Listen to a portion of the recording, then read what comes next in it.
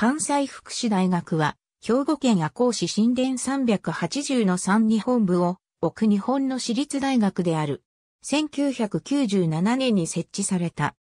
関西福祉大学は、兵庫県赤穂市と学校法人関西根校学園との公私協力で設立され大学で人間平等、個性尊重、和と感謝という三つの見学の精神に基づき、社会福祉士、精神保健福祉士、看護師、保健師、保育士、幼稚園教諭など地域に根ざした人材を育成している。開学以来、重点施策としている地域連携を強化し、赤穂市以外に岡山県備前市、兵庫県上郡町との連携協定を締結するほか、地元の高等学校との広大連携を進め、地域の地の拠点としての重要性を高めている。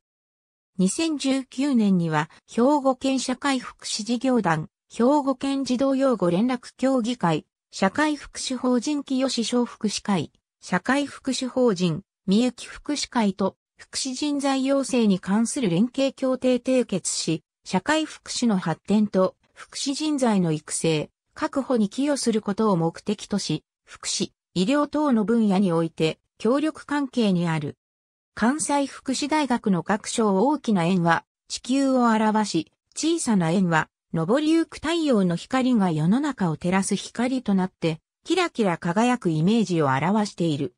この光を両手で支えるイメージは、大学の教育目的である人間愛に導かれた福祉の心を象徴している。シンボルマークのカラーは濃いグリーンである。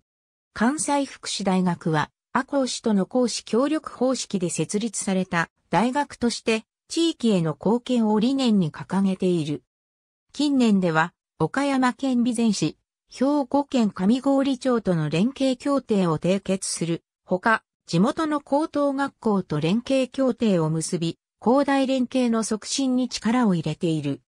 また、地域の地の拠点として、地域連携フォーラムを開催し、地域住民との共に地域の発展を考える機会を設けるなど、地域連携を重点施策としている。ありがとうございます。